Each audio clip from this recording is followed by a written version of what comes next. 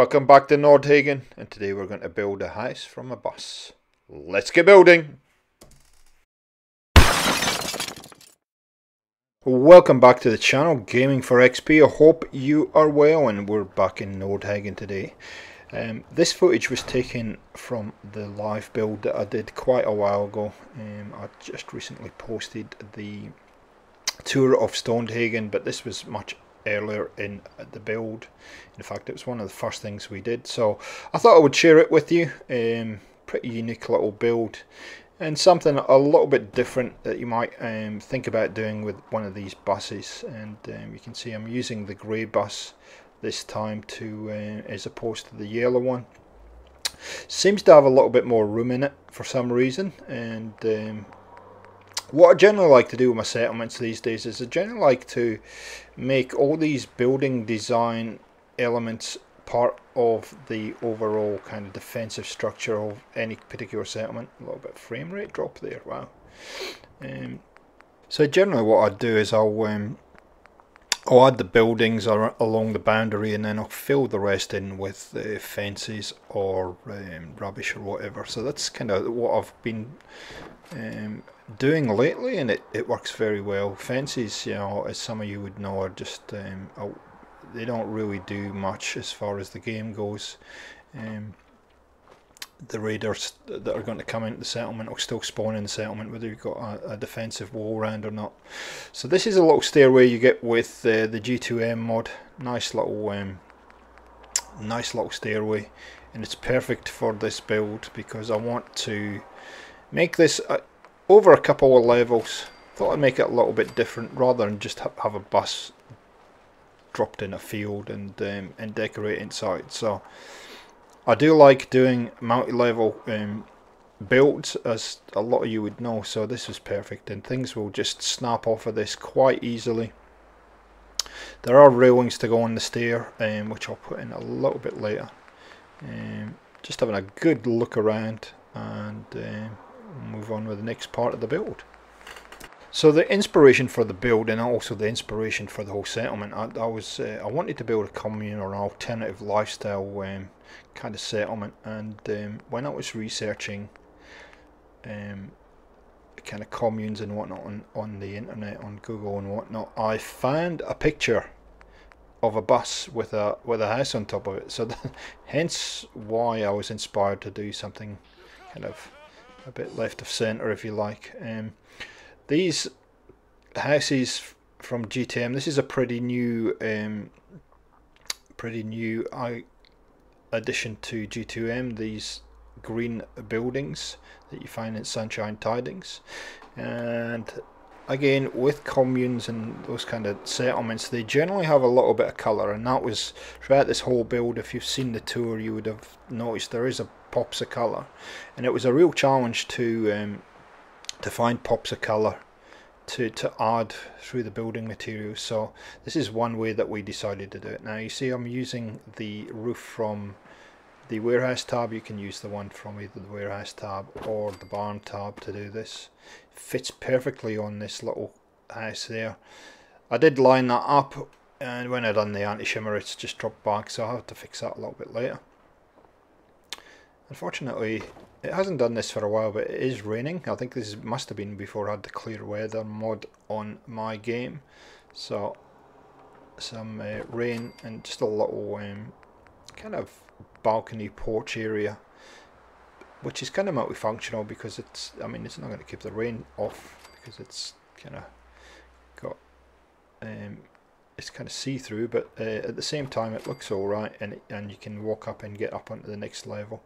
So I'm just chop, dropping pillars in here just to make it look as though it's supported. Um, set up a little bit. There we go. And um, yep, starting to come together really nicely.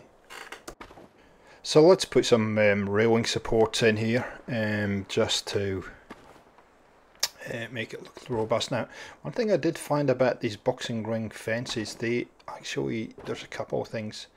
They actually have no uh, detection so you can actually fall through these. And um, they don't actually support anything any weight. And the other thing is once you put them in you can't move them. Um, so I've stopped using that particular railing system. Because um, I ended up I could not move. I could in the end I could not move that one. That accidentally dropped in there. Okay gone on pretty well. Um, we're doing pretty well. What I like to do with these houses is just use the uh, window boards just to board them up like that. This gives them that kind of um, rundown look. Let's get rid of some of the um, brambles here Okay, on to the next part. So I thought make it look a little bit more homely put a little bit of a fence around it just to define it a little bit more. Um, I'm lucky enough I've got these uh, fences that match the ones at um, Nordhagen. Thank you to Workshop Rearranged for that. And uh, so we'll just drop these fences in so it all looks as though it should be there and um, create a little outside area here as well. But it just frames it and makes it look as though it's somebody's house uh, or somebody's property rather than just leave it um, empty if you like.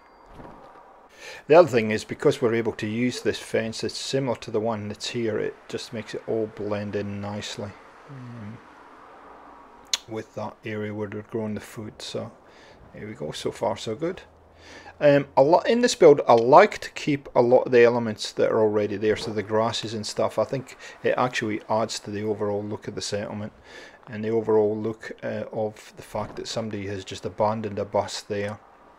Settlers have come along and decided just to build something using what was already there. So as I've said in the past, I do spend a lot of time before I build in a settlement, just running around, having a look at the immediate area and just seeing what kind of things have been left around um, and then use them within the settlement just to try and um, make the whole thing look just a little bit more convincing for that particular part of the Commonwealth that you're building in. Here I'm just going to use a um, one of the fence posts. I like to do this a lot, um, is just to drop these down a little bit into the sand, um, just to make it, them look as though they've been there for a little bit of time. Got a little bit of little fire here, and that's a you know an outside area, little campfire you can sit round. Um, maybe not today because it's raining, and we'll fix that in a second. And again, when you're building something like this, these are always good kind of boxes and barrels and that kind of stuff are always good just to sell. The overall look of the place. Barrels are also very good. Just moving forward. Oh bright light bright light. Um, I don't sure you don't want to spend half an hour watching me decorate the outside of the bus. So we're going to do move on with the building component of this. And when I initially looked at this all I was going to do was put that house on the top and, and we were done. But the more I looked at it, the more I kind of thought, well, um, there's scope for building even more on top of there just to try and even it out because it doesn't look completely even at this point. These um, these fight me a little bit. These um, there we go. Eventually we'll get to snap on these railings. Um, if not, we'll convince them into place. There we go, just like that. Um, pretty good, uh, pretty good mod GTM. If you haven't um, used GTM before, you're thinking about you might want to try it. I have a mod review on the channel, which I'll leave a link to. Unfortunately, as soon as I done the mod review, the mod updated substantially, so I've got to go back and do an update on that. But it'll give you a feel for what GTM mod actually offers. A great little mod use it a lot in a lot of my builds. We're just going to use a standard rail in there. And we're looking okay so I do this a lot I stand back see what it looks like and then try and figure out what else we can do with this particular build. And I think what I'm going to do is put a couple of floors down. Here we go. And the fact that I've already put a floor down things should just snap off of this nicely. Um, and we can start to build maybe a little um, entertaining area up the top here so that will just snap straight to that and the fact that I do put this uh, floor in means I have to put a step up which actually um, corrects an issue with I had with that fencing um, that I showed you before, that railing that's stuck there. There we go. So you can see there's a it's a fair height up, so I've got to find a way of getting up there. Some kind of stairway, uh, or some kind of stairway solution. So um, what I end up doing is doing this. And you can see that although that railing is now poking up, it's no longer an issue for me. So um, we'll just drop the stairs, the standard stairs down now. I should have done a double stairs because I noticed in the final walkthrough that I did a, a little while ago with the tour that that was uh, these stairs are floating so I really need to go back and fix that. Probably do it before we do the final um, the final tour. But of course as usual simple things fight you in the game uh, but we'll get it in eventually. There you go. See for a second. There it goes. It's teasing me now. Come on in you go there we go. So I need to put another one there because that's actually sitting floating. But that's okay. Obviously I got distracted with something else and um, forgot to come back to that to fix it. But that happens. Put another railing in there. Should just there we go snap right into there. And you can see that's floating there. So I will fix that before I do the final tour. And you can see that's fixed up whole thing with the um, railing. So I'm going to cut out some major, major faffing. Again, um, just put various um, railings around here and, and just, you know, vary them up just to give it a, a little bit of a cobbled together look, which is a look I've been going for a lot lately. Um, using all kind of different railings from all different mods can see that went green. It, it wants to go green.